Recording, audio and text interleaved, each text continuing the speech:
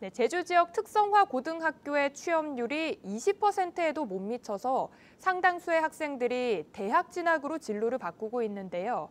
제주 교육당국도 고졸 채용을 외면하는 것으로 나타났습니다. 이정훈 기자가 보도합니다. 김광수 교육감의 신제주권 여중고 신설 공약에 적극적인 움직임을 보이는 곳은 제주고등학교와 제주여상 총동문회입니다.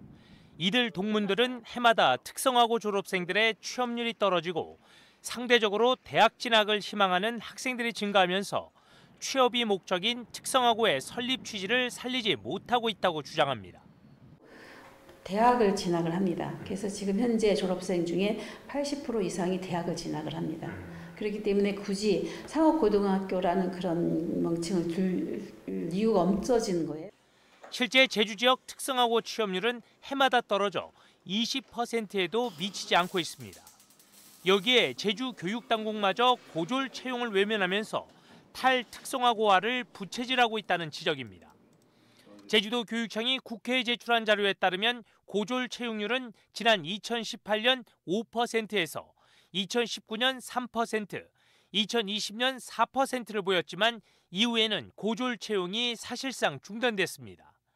2021년과 지난해 일반직 공무원을 각각 23명과 40명 이상 뽑았지만 고졸 채용자는 한 명도 없습니다.